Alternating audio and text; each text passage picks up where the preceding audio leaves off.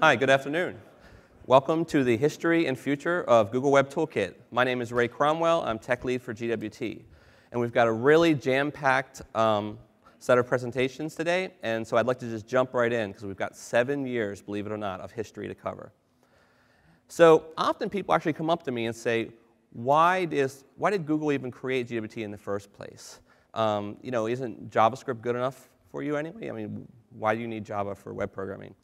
And um, so I think it's instrumental um, to go back and look at the context in which GWT was conceived seven years ago.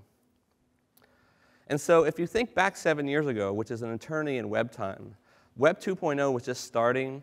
Ajax apps and rich internet applications were just being created, the first sort of series of them. And people were actually thinking back then that the future of rich internet applications was going to be something like a war between Adobe Air and Microsoft Silverlight. I mean, there were conventions on this, and people did not think that the browsers were powerful enough to do really, really capable applications.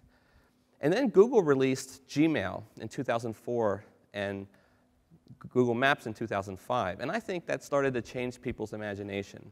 Because for the first time, especially with Google Maps, people saw an application that was written in the web that was fast, it was fluid, it was, in fact, this was before touch, it was touchable. I mean, the way you interacted with the Google Maps application is you grabbed it with the mouse pointer and flung the map around. And so that fired up people's imagination, and people really wanted to start building rich web applications like this. But at the time, if you looked around and surveyed the landscape, there wasn't a lot of good tools to do this in just raw JavaScript by hand. In fact, jQuery, which is really the most popular library out there, wasn't even released until 2006. And I think um, probably Bruce Johnson and Joel Webber, who created GWT, were sitting around somewhere in a cafe and they were saying, you know, how can we solve this problem without building our own JavaScript IDE and our own JavaScript testing frameworks and uh, build servers and all this other kind of stuff that's been there for a long time. And if you look at Java, they were like, wow, it has 7 million programmers, it's got IntelliJ and Eclipse, it's got Ant and Maven, and it's got JUnit and TestNG, and it's got bug analysis software and dependency package management and all this stuff. The only thing you can't do with it is you can't write a client-side web application, except if you want to do applets or something. Aha, if only we could compile Java to JavaScript, it would close the loop and we'd get massive leverage on that ecosystem. So that, I think, was the foundation context for GWT. And so it's evolved a lot since then. The first version of GWT was released in 2006, um, followed very shortly by a few other versions that really didn't add much but fixed bugs. And the really important thing is that with GWT 1.3 in 2007, early on, we released it as open source. And for the first time, everyone could contribute to GWT if they wanted to. And it was also the first to get OS X support. Later in 2007, we added JUnit testing framework support, as well as automatic sprite sheeting. This was another first, because back in 2007, we were automatically creating CSS sprite sheets on the fly, well before actually people had built tools to do this for hand-coded JavaScript. But the biggest thing people were asking us over and over again is when are you going to have Java 5 support? We want generics, we want enums, we want autoboxing, all that stuff. And so they did a fire drill, they crunched down, and in 2008, they got Java 1.5 support. In fact, 1.5 was one of the biggest releases. It added not just Java 1.5 support, but this new overlay type system that allowed you to link with JavaScript for the first time with zero overhead in the compiler. It had a new low-level DOM API, com Google GWT DOM, and we added CSS themes to the widgets for the first time. So everyone who used GWT early on knew that the widgets had no style whatsoever. Out of the box, they just looked like nothing. And so we added a couple of uh, CSS themes, at least so out of the box, you know, someone could actually look at the app and not puke. Um, and we added this thing called linkers, which has some useful uh, things that I can perhaps get into later. And with 2009, we um, basically um, redid the event handler system to make event handling um, more generic and not just tied to the DOM, but now you could fire custom events and you could reuse events on both the client and in your server code. We added code coverage support with Emma. We added war directory support, so you could just point our tools at a war directory and it would just work. And we added a parallelized build system that today is mostly used by Google. Um, in 2009, we had a minor release that mostly just added support for IE8. 2009, though, was uh, the year of a really big release, and that was GWT 2.0. And GWT 2.0 was an overhaul. It was the biggest release ever. We added a totally new dev mode so you could develop in development mode with any browser you liked. So you, whether it was Chrome, whether it was IE, whether it was Safari, Firefox, you had the same experience. Previously, we were bundling a really old version of Firefox or IE directly into the GWT toolkit, and so you couldn't even upgrade the browser you were developing with. We added draft compilation to speed up your compiles. We added this new templating system called UI Binder. We added layout panels for um, really efficient uh, CSS style layout. And we added co the code splitter, which was an overhaul of the compiler to allow you to tell the compiler that certain pieces of code don't need to be loaded when your app starts up, but they could be loaded later. And a new system for bundling resources into your application, which was called Client Bundle, which is the evolution of Image Bundle, which did sprite sheets. With Client Bundle, we also bundle in CSS, and we have a CSS compiler that performs optimizations on the CSS to shrink that down as well. In 2010, we partnered with VMware to support their cloud, and that necessitated um, a new RPC system that was not as tied to Java as uh, GWT RPC was, and that was Request Factory, which is a more JSON-oriented RPC framework. We added data binding with the editor framework, JSR 303 bean validation support, model view presenter pattern support, and a new um, system of cell widgets, were, which are uh, efficient um, widgets for rendering like tables and grids. And then we had a couple of minor releases. We added a, um, we acquired this company called Instantiations, and we released as open source and for free a WYSIWYG designer for GWT UIs. We added a lot of HTML5 support like canvas and storage and things like that. And we dropped in a little bit of uh, stuff for Google in terms of uh, enhancing app integration, app integration. And then finally, in the last release, um, we sort of started to think that we need to move off Ant and get more towards Maven, so we sort of Mavenized it. So um, that's where we were. That's the history of GWT. So where are we today? Well, as far as we can tell, the SDK has been downloaded over a million times, um, but that's probably not an accurate number because a lot of people are getting it from Maven Central now. We have over 100,000 monthly active developers um, because our software basically periodically checks to see if there's a new version to give you a notification that you know, GWT 2.5 is available. Uh, and so we at least know of Eclipse users, there's 100,000 active developers. We have deep integration with Eclipse through the Google Eclipse plugin, with IntelliJ, and with VMware Spring Tools. And our products are used um, widely within Google, uh, including our biggest product, which is AdWords, Google Flights, Wallet, Offers, Google Groups, Blogger, many that you haven't even imagined that were written in GWT. And we did a couple of fun things. We ported Quake, first-person shooter in 2009 using GWT to the web, and it ran smoothly, 60 frames per second in the browser.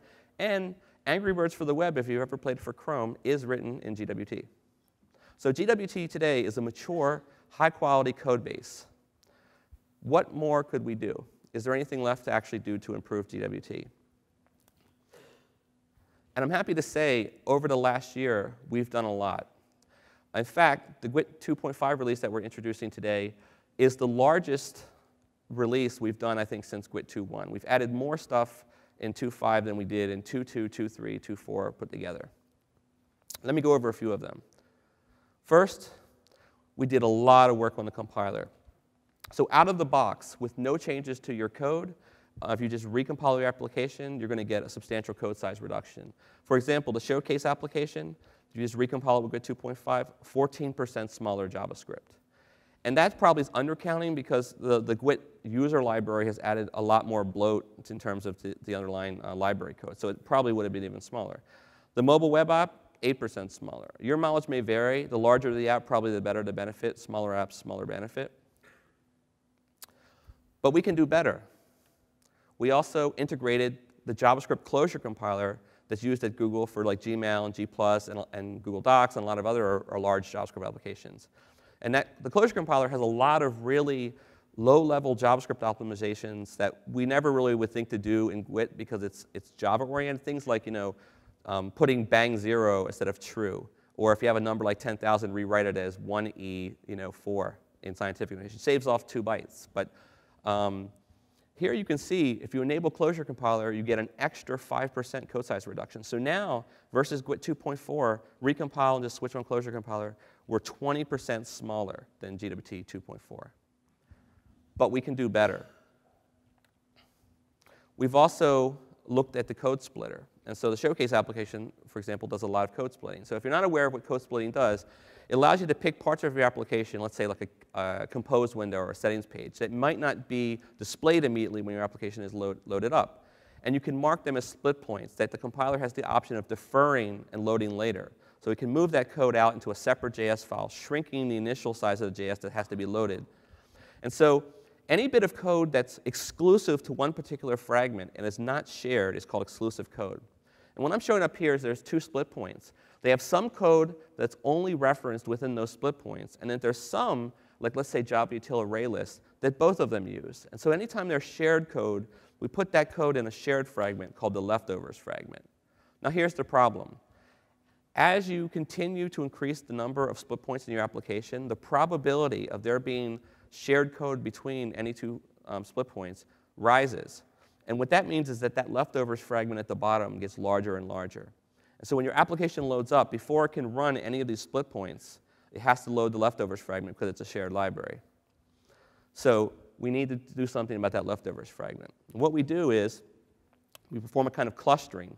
We analyze all the fragments that, that you've split out and look for ones that are most similar, that, are, that basically use the most amount of code together. And we merge them into one fragment. And hopefully, there's a lot of shared code that no longer is used by anybody else. It's only used now within that new merged fragment that you see there in the middle of the screen. And that leaves the leftovers fragment down the bottom empty, or we've hoisted some code out of it into this new shared fragment. So what kind of effect could this have on an application like Showcase? 39% reduction in code size of the initial JavaScript that your application has to load before it can present the UI to the user. Um, the first time I saw this, I thought we had a bug in the compiler, and it was wrong. It was removing too much code. But I've measured it several times, and it's true. 39% code size reduction. But there are other things we had to do. We had to improve the overall diagnostics of the compiler. Things that you might rely on, like if someone's running your application and a user hits an exception, how are you going to find out what happened and what line of code it happened on? So there's this new standard that Google has proposed and other people have adopted called source maps. And what it does is whenever you compile anything to JavaScript, be it Java, Clojure, uh, CoffeeScript, whatever, we write out this standardized mapping file which says this piece of Java or CoffeeScript or whatever source language became this bit of obfuscated JavaScript in the output. By having that bidirectional mapping, now when you go to debug or inspect obfuscated compiled JavaScript code, it can actually tell you the original line of code that it came from in your source language before you um, messed with it. So this permits deobfuscation of JavaScript, but it also allows GWT, more importantly, to construct perfectly accurate stack traces. So right now today, if, you, if a user encounters like an exception in one of your GWT applications, you get the line number of the, uh, of the method, the name of the method that it occurred in, but you actually don't actually get the actual line number of code within the method that it occurred on. And in fact, if the compiler has inlined several methods and rolled them up into one, you actually don't even know what method it occurred in because now those small inline methods are not even on the call stack. They've been basically moved into the parent caller. Not so with source maps. Now you'll actually know the exact original function, regardless of optimizations, where the error occurred. It's Chrome only for now. Firefox has demoed it, um, and they promise to support it. OK, so this kind of dovetails into um, super dev mode because it's what enables it. But here's the problem. So over years, people have complaining we haven't kept our dev mode C++ plugins up to date. Um, basically, we use these native plugins that we install into the browser so that when you run in dev mode and it's running Java code and it has to, it has to remote control the browser and tell the browser like add a DOM element somewhere, it talks to this plugin which then remote controls the browser to actually update the browser.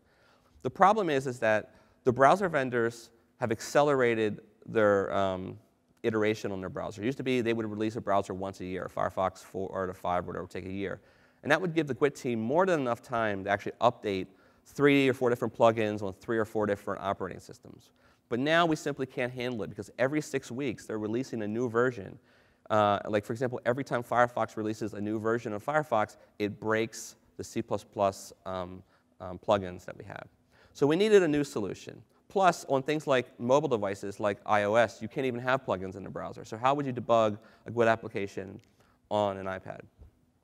So what if we could create a GWT compiler that was so fast we can compile your Java code in one second.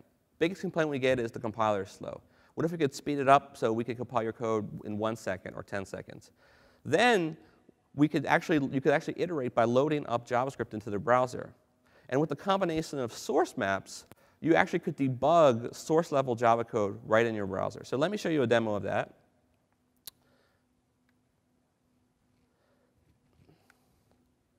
So I've got, a, I've got the Gwt code server running, which is the new um, super dev mode server. It's a servlet. It starts up on your Gwt module, and basically it's waiting there for me to connect. It's going to serve up the compiled code. So I'm going to um, go to this application I have called uh, Silver Comet. And hopefully I've got a network connection and um, it can load up.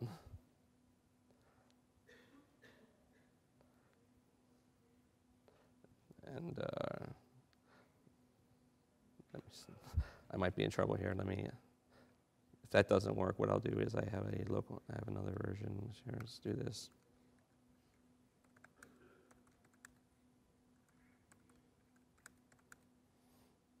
I'll just skip ahead for a second and I'll come back to that and show it to you. All right, let's, let's, let's go let that go for a second. Oh, okay, there it is. Man, networking up. Okay, so this is a application. It's graphing marathon data from the Silver uh, Comet Half Marathon in Atlanta. And you can see I can do things like I can hit a character, click on a person, it shows me where the runner is. And if I were to try to debug this today, I bring up the Chrome Inspector. And I go to um, scripts. You can see that it's basically uh, compiled JavaScript. So it'd be really hard to like set a breakpoint in here and, in here and debug it. So let's go down to here and click on this little, in the Chrome Inspector, this little gearbox and say um, enable source maps. So now I'm going to click this, um, I'm going to go back to the code server and I'm going to drag this little bookmarklet up here. And I'm going to turn on um, super dev mode. So it's uh, hopefully um, it's going to reload. I think my network's having problems. Okay, there it is. Okay, so I'm going to click Super Dev mode, click Compile, and um, it's compiling. And usually this takes like uh, less than two seconds, but network is loading already, so it's already finished, but it's loading, the, loading on the bottom. There we go.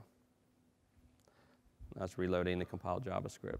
It's already been compiled at this point. Um, if I go over to this window, over here, I can probably show you, compiled in 0.979 seconds, if you can see that. So the, the issue is there's some kind of network um, thing that's uh, hurting my demo here. Let me bring up the inspector and see if I can show this to you. Oh, okay, there it is. So it's back up.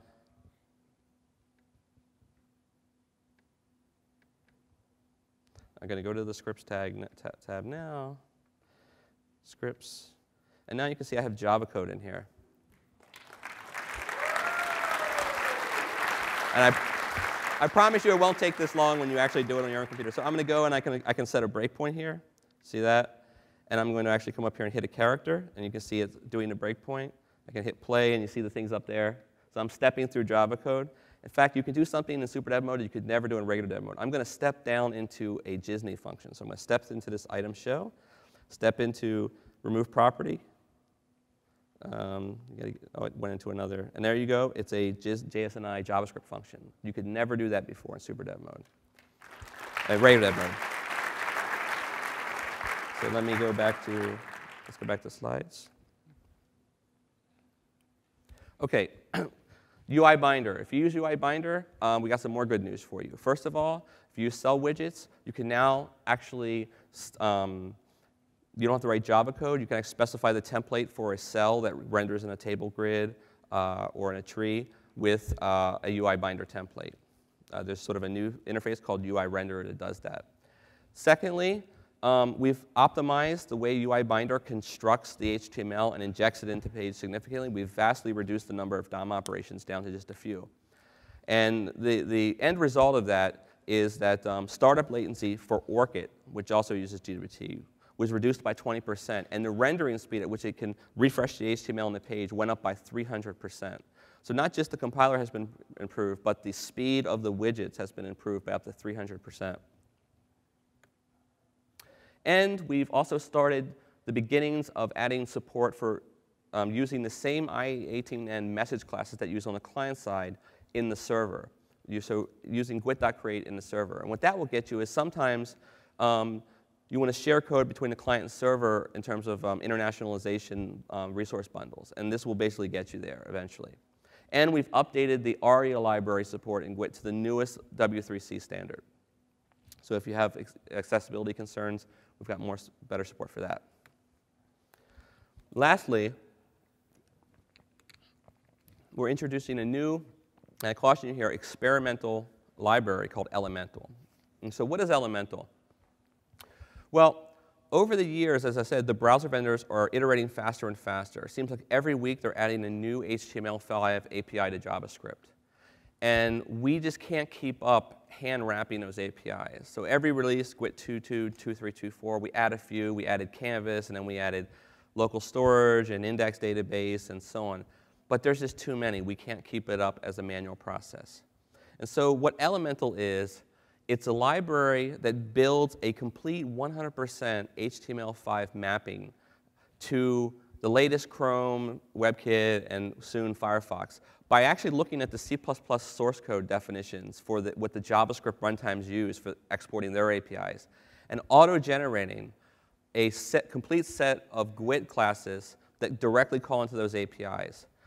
But it's all done, and I got a typo in there, with JavaScript overlay types. So when you compile this, they all melt away, and it's as small or smaller than you could write by hand and call these APIs. There's no overhead. Every API you could think of is there. WebGL, Web Audio, Sockets, RTC, even Web Intents, Shadow DOM, these new things that you might have just seen at the show today. We have a new set of collection classes that um, you can use in, in, as an alternative to Java util collections that are mapped directly to underlying JavaScript collections.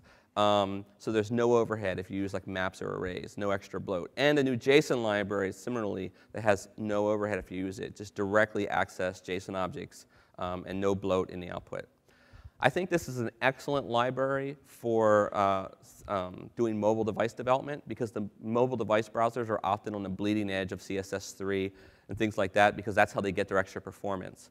And so um, it could also work for desktop, um, but you might have an exist, you might have be already using the existing stuff, and so you'll have to decide whether or not you want to move over to this library. But um, try it out, and I'm going to show you a demo real quick. And I cooked up sort of a hack to, um, to show you the power of Super Dev Mode and to show you the power of Elemental. And so what I've done is, is I've built this servlet filter that if you try to load up an HTML page, and if you have something in there like this, so I'm going to type a script tag. And I'm going to say type is equal to text slash, no, not JavaScript, Java. And in here, I'm just going to write, like I would write JavaScript, window.alert. Hello.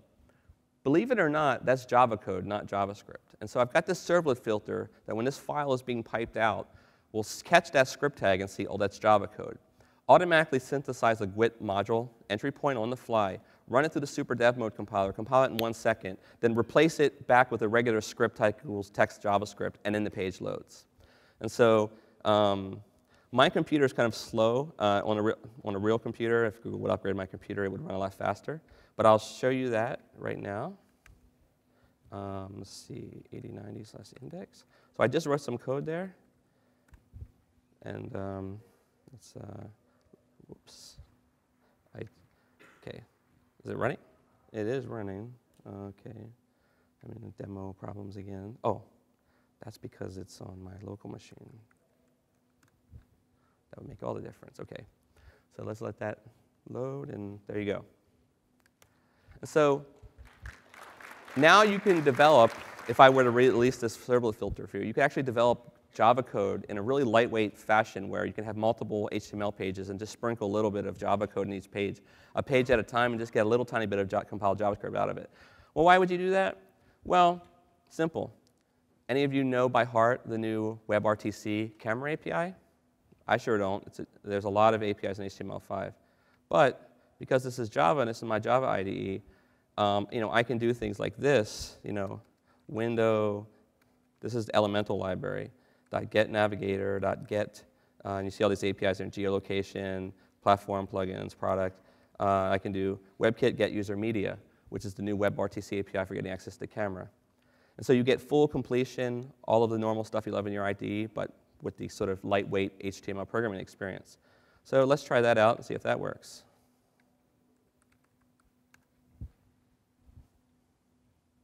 It's going to take a second to recompile, and hopefully this works. There you go.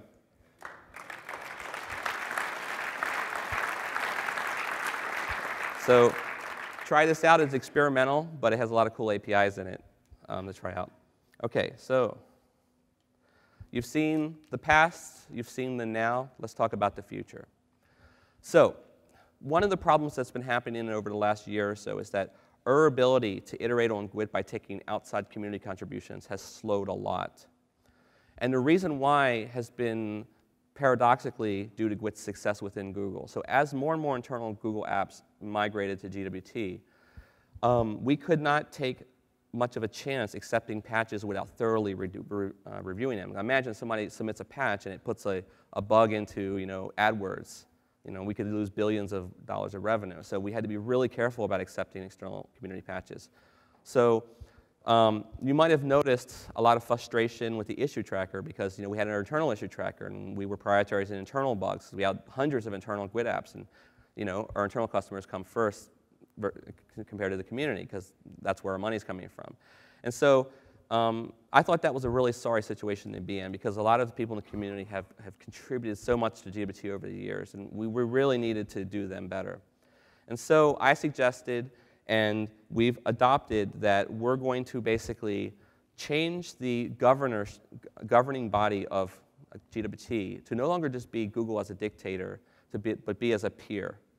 So we're introducing the GWT Steering Committee. So now the control over the future roadmap of GWT and what features go into it and who gets to be a committer and who's a code reviewer and what patches get landed is now going to be controlled by a committee of um, several of the top you know, star contributors to the GWT community and some of the biggest companies using GWT.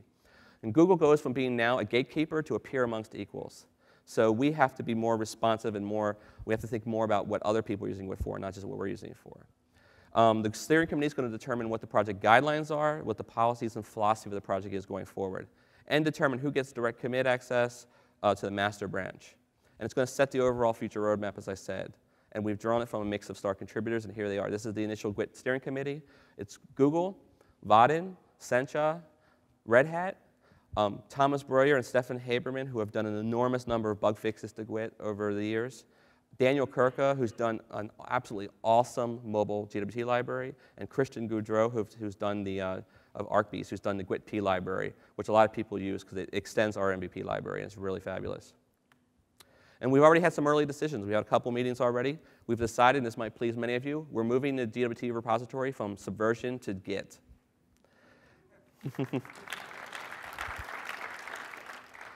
and we're going to have two official branches now. The master devline trunk, where all of you, who if you fix a bug or you have a feature, can submit your patch and it can land, whether or not it may break an internal GWT application. This will be the bleeding edge branch that everyone can get a nightly build on and try it out, and we can figure out what needs to be rolled back. But if it makes it through the dev branch and it doesn't destroy anybody's applications, then it might, it's going to be cherry picked into the beta branch, which represents the work on the next release, let's say GWT 2.6 or GWT 3.0.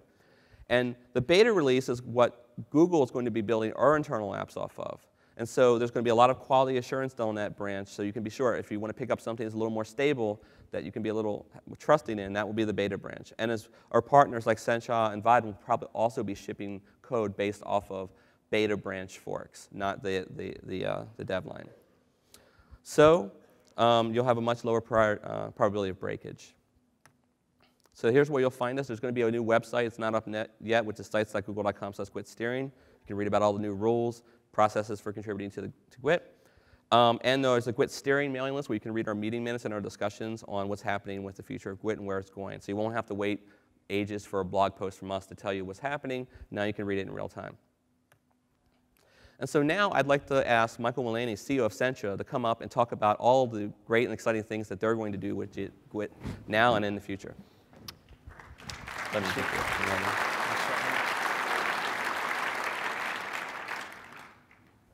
Awesome, it's great to be here. Um, my name is Michael Mullaney. I, I run Sencha. I'm also joined by uh, Daryl Meyer, who's here in the, the audience, who's the tech lead for uh, Sencha GXT at, uh, at Sencha. Do you want to stand up and say hi? Hi, Daryl. okay, uh, so before we start, just a quick poll. So, how many people have developed with GWT since you're in the GWT session? Right, good. How many people have done an app over 10,000 lines? 50,000 lines? 100,000 lines? Half a million lines? Over a million lines of code? Okay, that's a good distribution. Well, one of the reasons that, um, that we are excited by GWT is because it does really help you with very large applications and very large teams working together. We are a, a company that has about 2 million worldwide developers uh, in JavaScript and in Java um, across all sorts of um, applications and all sorts of geographies. Um, of that, we have about 400,000 registered community members on an incredibly active forums who are approaching kind of a million posts on our forums over time.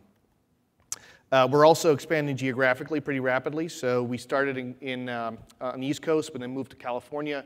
We've just opened a Vancouver office and an Amsterdam office. Um, I'm not allowed to say we're hiring, so I won't say that. Uh, we have um, a really amazing array of applications built with Sencha Technologies, uh, with Ext JS, with Sencha Touch, and with um, GWT. We have everything from um, very large clinical trials management applications to CAs, uh, admin interfaces, to Dell's um, warehouse management system, Best Buy's uh, store system, all built uh, with Sencha Technologies. We're primarily focused on business applications and very large applications. That's why people use a, a very structured framework like Ext JS uh, or GWT. Um, and our goal is, is to take, um, to really provide a complete productivity capability from design time to develop and run all the way to deployment. So Sencha Architect, if you stop by our sand, uh, sandbox um, yesterday, is a drag and drop uh, visual app builder for Sencha Touch and for Ext JS, so you can get mobile and desktop on the same tool. Um, we're also happy to have um, to be working on GWT Designer integration for um, GXT.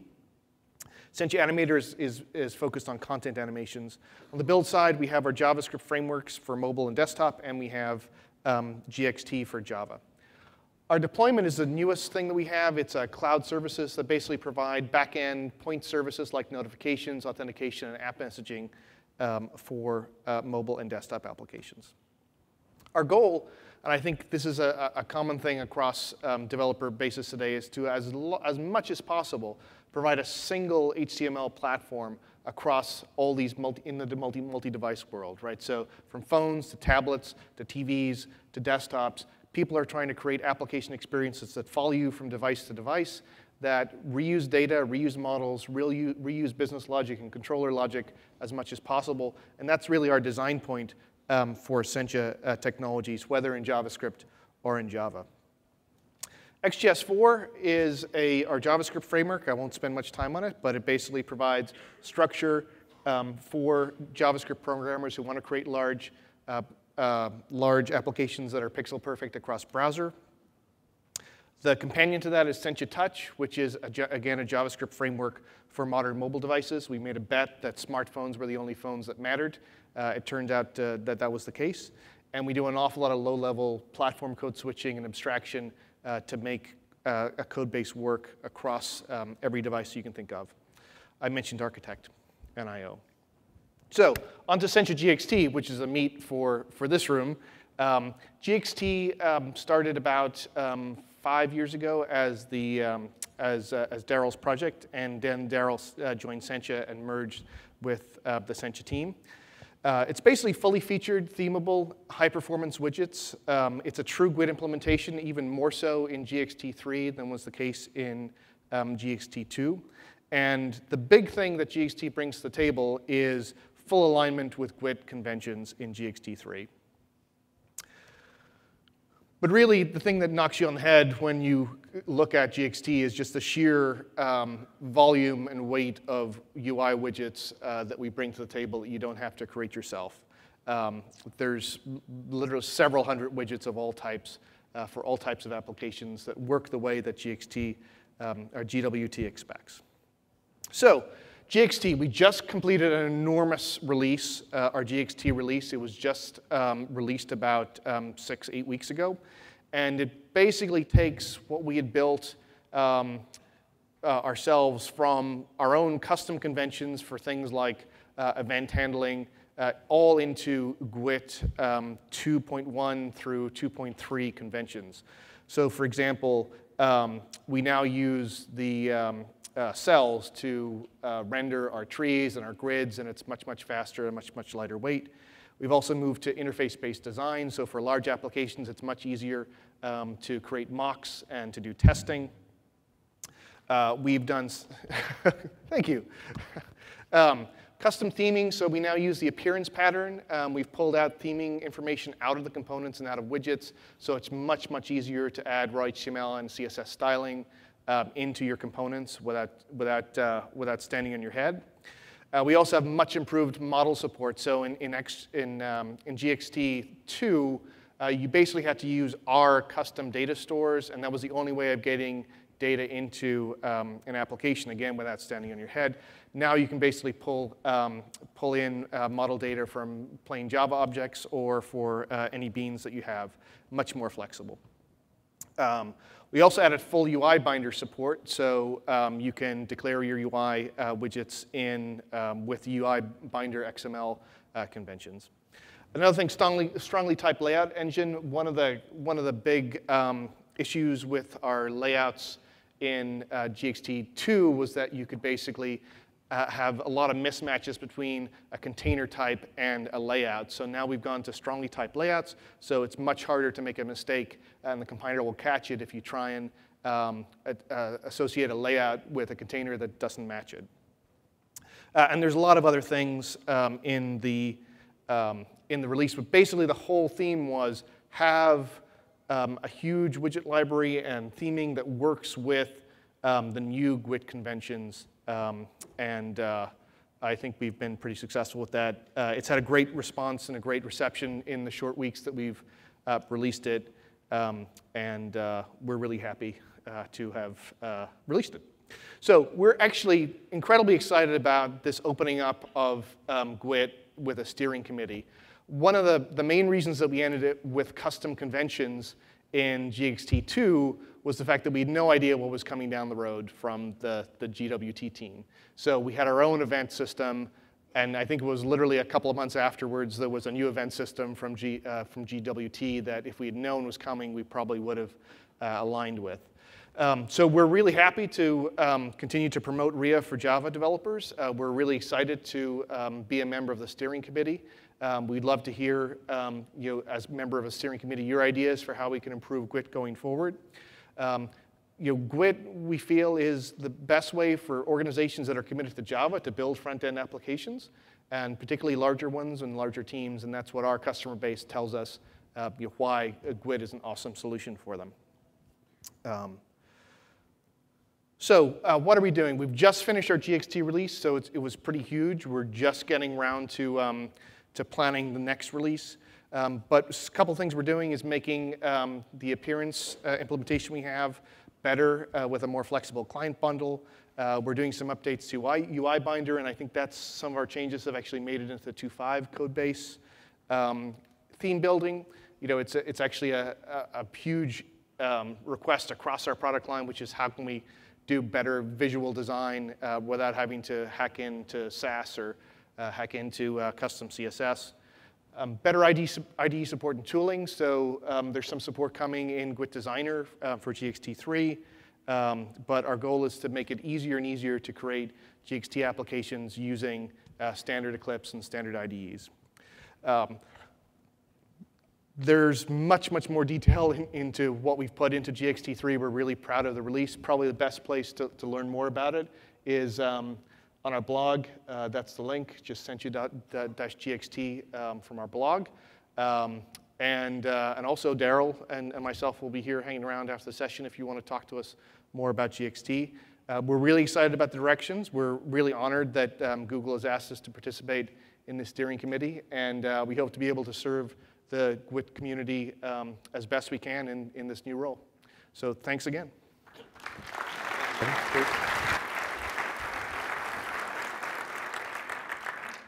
And so now I'd like to uh, ask uh, Jonas Lehtinen to come up. Uh, he's uh, CEO of Vaadin, which um, also has a really fabulous um, um, framework for GWT. And he's going to tell you how um, Vaadin's going to contribute to GWT and what they're all about. Thanks, Ray. Okay. Uh, yeah, I'm really, really excited to be here and, and see where GWT is going at the moment. Uh, let's first kind of give a brief intro to what is Vaadin and how we are using GWT and what that relationship is going in the future. So you could say that Vaadin is a rich uh, internet, is a Java frame, framework for building rich web applications. And as that, it's quite similar to GWT, but at the same time, it's totally different from GWT. In Vaadin, you are doing everything on the server side. It's basically based on three different ideas. So first, we want to have amazing components, both as a UI components as well as data sources and data integration components, themes, and so on. So we have a really nice set of widgets in the core product, 100 or so widgets. Uh, you can go to vaadin.com slash demo to see those out. There are also widgets for mobile, Android, iPhone, iPad, but what I'm mostly excited about is the community around Vaadin. So there are hundreds of plugins for Vaadin. Those plugins might be widget libraries or integrations or themes or tools. Second idea is that we are combining server-side RIA together with Google Web Toolkit. So what is this server-side RIA? To look into that, uh, take a look at this. So basically, you have five layers in your application. So you have the backend layer, you have web server, you have communications, and with GWT, you have uh, Java to JavaScript compiler. And in the end, you are running JavaScript in web browser. So if you look at GWT, it looks like this. So basically, are writing four layers, and optionally, you can do some JavaScript on top of that. Vaadin is quite different. In Vaadin, you are only writing two layers. You're only writing code on the server side. So everything on the RPC layer and on the browser side is totally automatic. You don't have to write any line of code for those. And if you're comparing this to JavaScript frameworks, I truly like Ext JS. It's probably the best one out there at the moment. So also in here, you are writing four layers. And this is kind of the core of the, of the WAD. And you can kind of skip half of, the, half of your program when you're writing in Vaadin. It actually works like this. So all of the components have two parts. You have server-side component. It's basically API that you are programming against. So whole UI is living on the server side. And on the client side, you have rendering and event handling. And that part is totally done with Google Web Toolkit. And that's the relationship between Google Web Toolkit and Vaadin. Third thing, uh, Java. Basically, everything in Vaadin is just a plain old Java object. So all of the components are just plain old Java objects running on the server side in a real JVM. And the implications are that you can write any, you can write the UI in any language out there. You can use Scala or Groovy or Clojure or Ruby or what have you. You can use any tooling, any IDEs.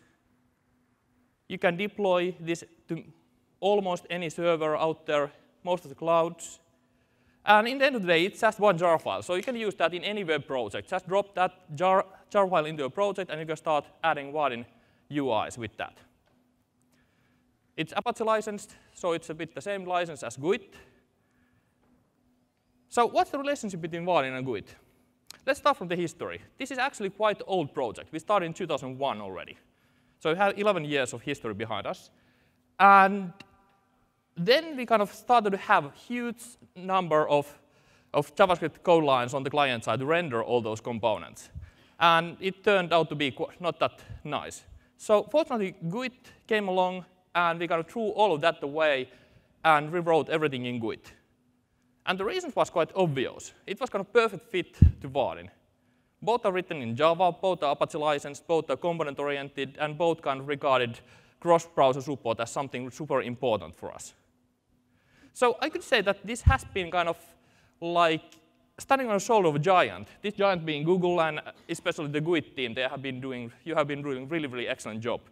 And it has been helping the ride quite a bit. So we had, haven't had to deal with all those browser differences ourselves. So you could see this as kind of engagement period of five years for us. And this is a kind of strange engagement, because after five years, we are still totally in love with GWT. I, I truly think that the GWT is the best way of building rich web application on the client side with Java. So if you are building a huge application, there is, that's the kind of number one way of doing that on the client side.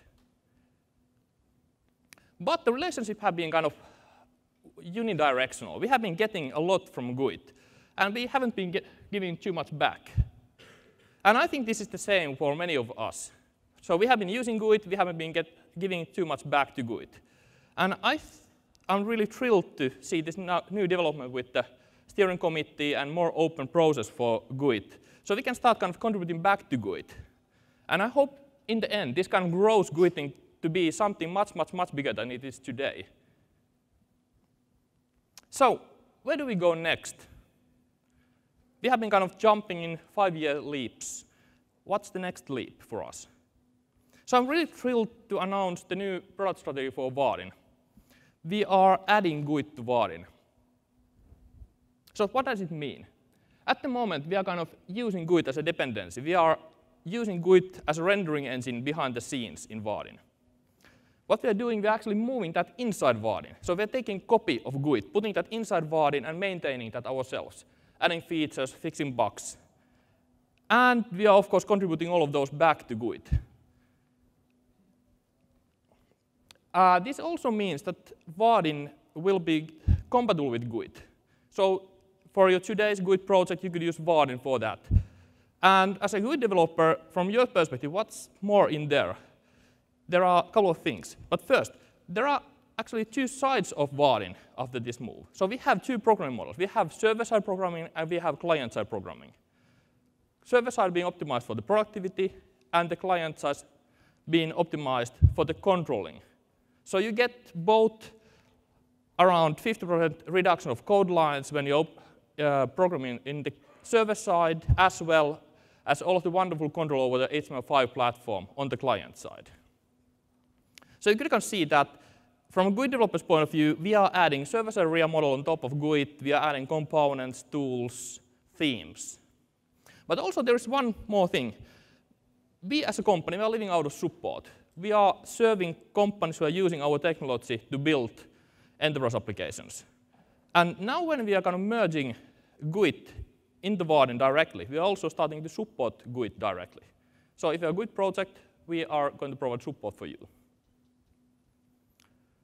And this is going to be available pretty soon now.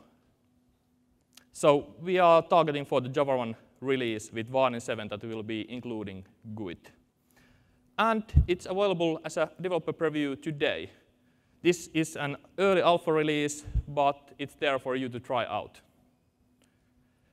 There is a tons of more things to read about how Vaadin and GWT are kind of combined and what are the, all the aspects of that. Go to vaadin.com slash and read more about this.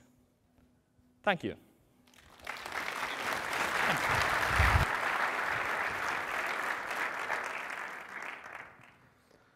Okay, let me switch back to my slides. Okay, so there were a couple of other uh, steering committee members who couldn't be here. I don't want to spend too much time, but um, Christian Goudreau uh, has developed a wonderful library called GWTP, and he is on the um, steering committee as well.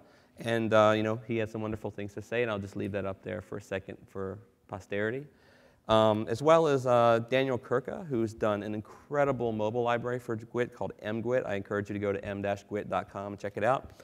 And uh, he is also on the steering committee, and I'm sure he's going to be focused on making GWT better for mobile. Finally, we are hiring, believe it or not. So if you are a uh, unemployed GWT programmer and you're looking to join Google and work on GWT directly, please send your resume to google.com/jobs. And now I'll turn the mic over to you, and you're free to ask questions.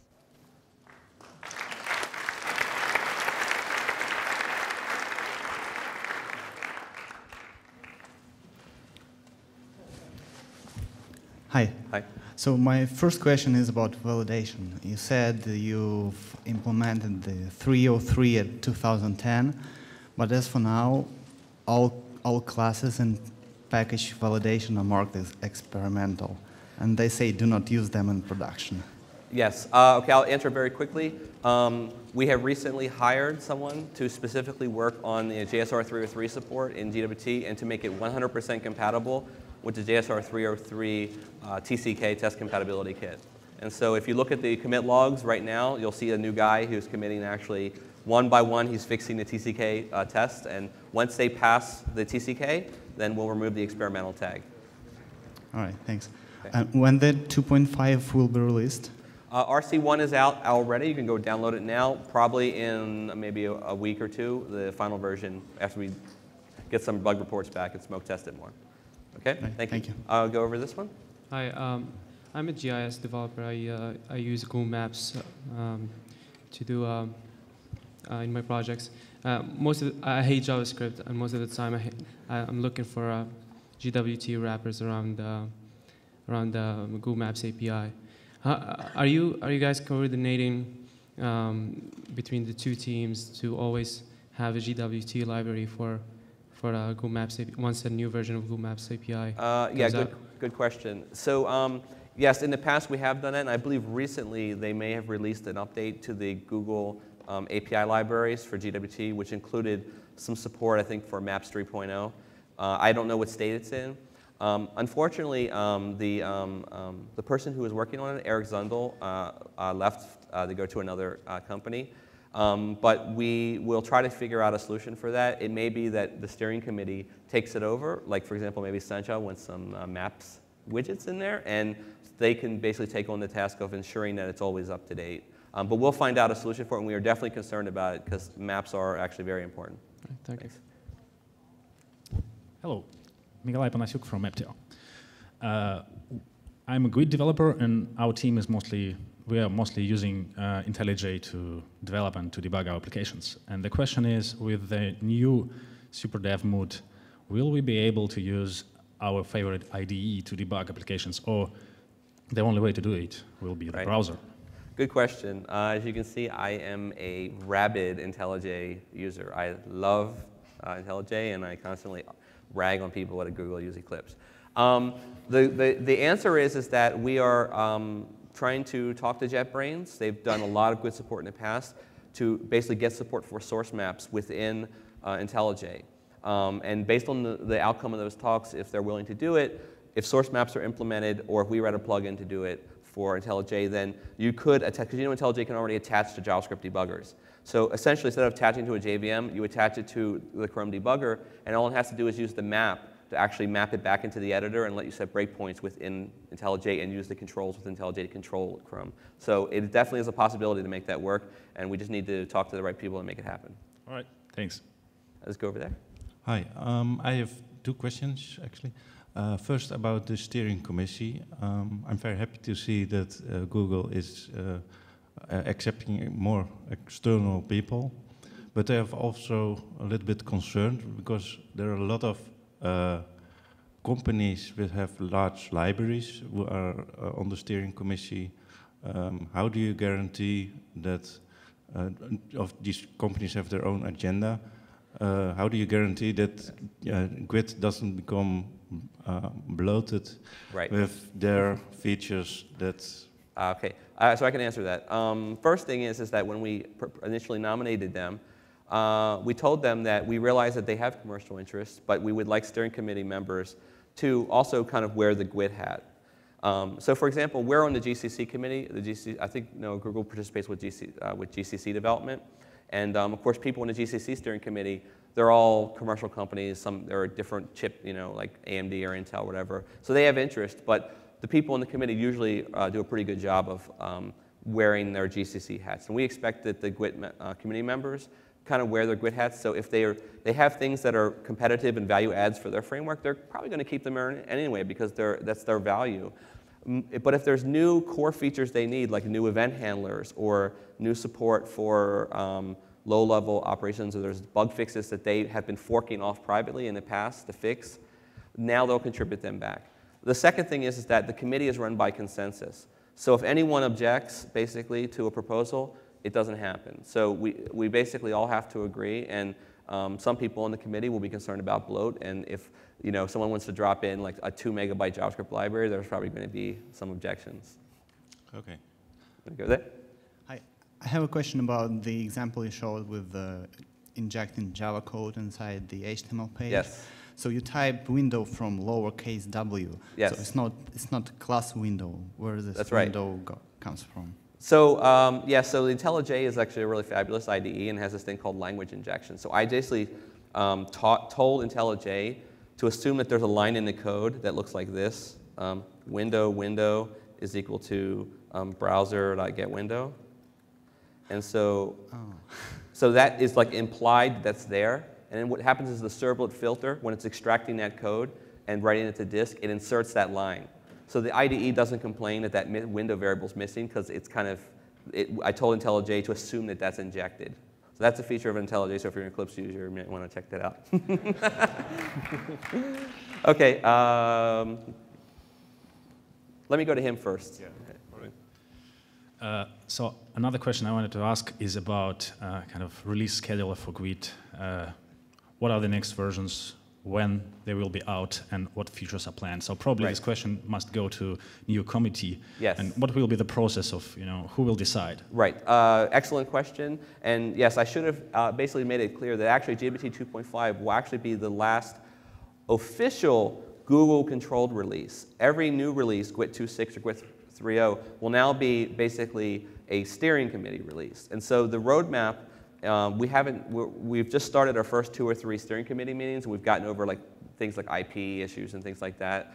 Um, we're getting to starting to define the roadmap, where we're going to host it. Is it going to go to GitHub or somewhere else, um, or stay on Google Code? You know, uh, there's lots of arguments and debates over that kind of stuff. Maven versus Ants versus Gradle. Um, and so one thing we're going to discuss is what's going to go into the next version and when's it going to be released. And so if you watch the GWT steering, GWT that steering at googlegroups.com, you can follow along and you'll probably get some inkling as to when it's going to happen. But probably not as long as the, the, the distance between GWT 2.4 and 2.5, probably sooner. Okay, uh, any last questions? All right, well, thanks for coming, guys, and um, I hope you continue to join GWT.